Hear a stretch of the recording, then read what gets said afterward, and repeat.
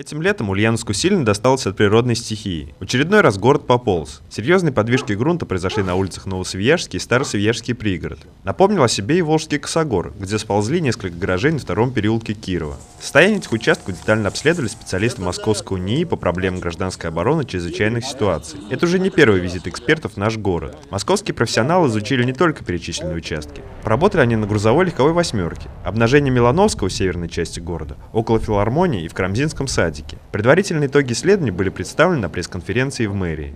А наши приборы тоже показывают, что в средней части, в нижней части э, мы полностью вот э, в районе Свияги все посмотрели, более-менее э, стабильно, по нашему мнению. Но в верхней части нестабильность такая наблюдалась. Вопрос о переселении жителей с пострадавшего берега Свияги будет зависеть от окончательного вердикта специалистов. Состояние грузовой восьмерки эксперты оценили положительно. А вот на легковой дороге были замечены небольшие трещины. О проблеме знают в городской администрации и готовятся ее решать. Я думаю, что уже в текущем году эти работы очень достаточно удобно проводить в зимнее время, когда грунты э, замерзшие и стабильные, уже приступают к укреплению э, нижней части Волжского косогора.